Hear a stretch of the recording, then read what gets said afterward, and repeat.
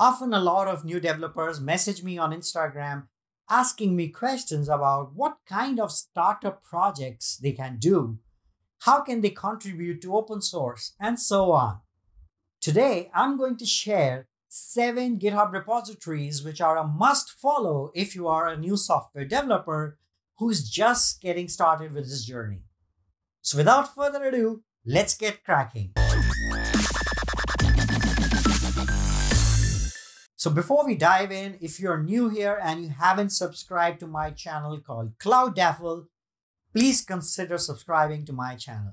I keep sharing videos related to most recent developments in tech industry, as well as tutorials on new and emerging programming languages and technologies, especially related to JavaScript.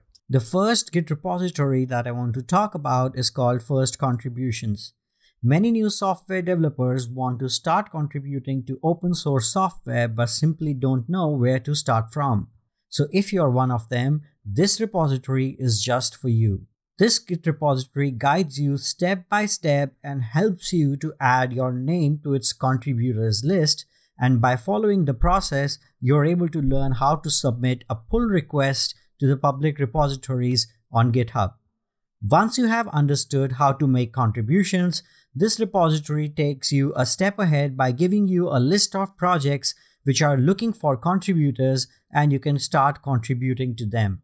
You can also search for a project by the programming language of your choice and there are hundreds of fantastic projects that are looking for contributions. So get started. It's a known fact that to learn programming, the best possible way is to practice by building real world applications.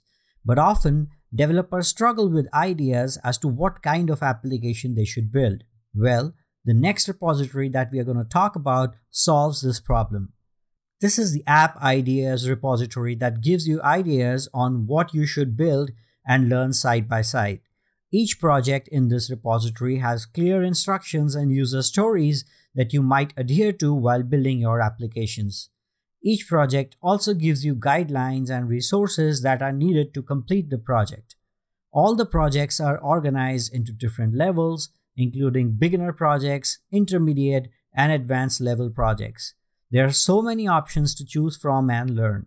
You will never be short of ideas for practicing projects with this repository. The next repository is pretty similar but unique. Once you complete few practice projects and get your hands dirty with some code, you start looking at real life, bigger applications and wonder how they are made. This is where Build Your X helps you. Build Your X is a collection of tutorials on how you can build a specific technology from ground up.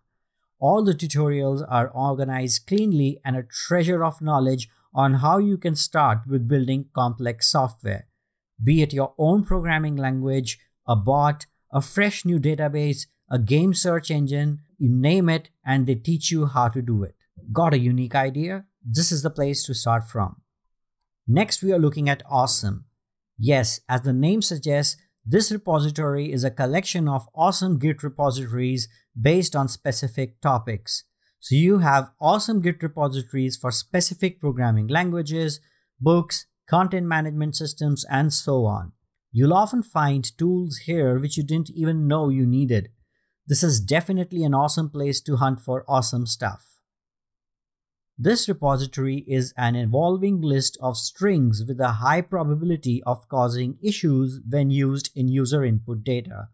This helps you test your application for invalid inputs by users and gives you a collection of such inputs.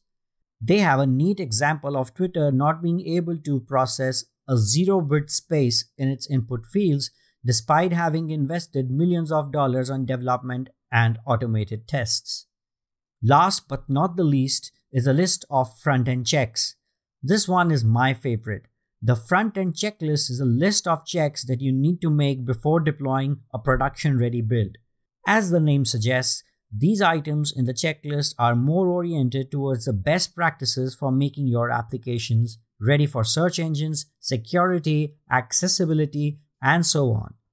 All the checks are divided into critical, non-critical, and best practices segments, and you can choose the ones applicable to your project based on the scope and scale of your application.